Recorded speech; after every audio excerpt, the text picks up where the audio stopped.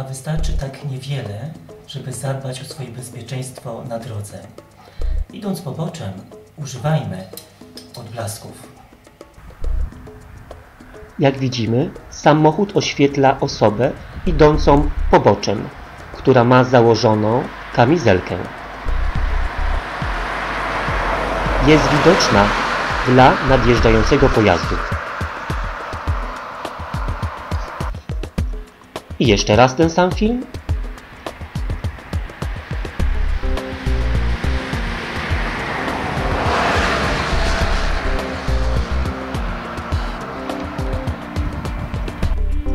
Gdy wyszliśmy z domu i nie wzięliśmy elementu odblaskowego, możemy użyć telefonu komórkowego, aby dać znać nadjeżdżającemu pojazdowi.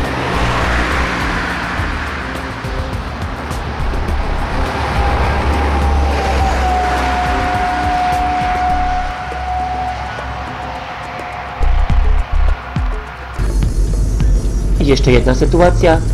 Osoba idąca poboczem, uprawiająca Nordic Walking bez kamizelki.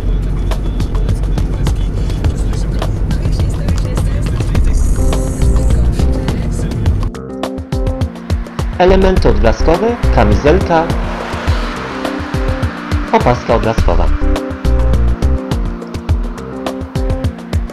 I pamiętaj, bądź widoczny na drodze.